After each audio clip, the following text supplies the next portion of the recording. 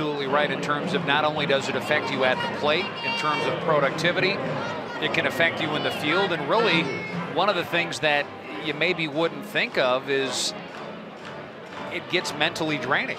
Yeah. It can really be, uh, you know, it can really be mentally tough and wear on you. And as soon as that happens, then all of a sudden, when your mental game isn't there, then the then the physical things really start to compound and happen even uh, even with more frequency. Vasquez stands in the 2-1.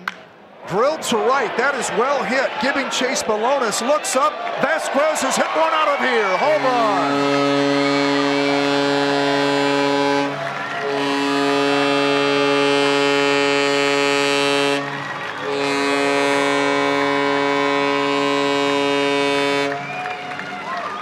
James Vasquez makes it a one-run ball game with a home run.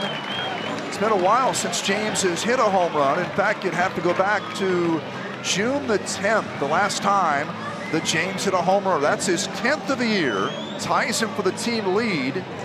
And it had been just over a month, a little over a month, in fact, since Vasquez had last hit the home run.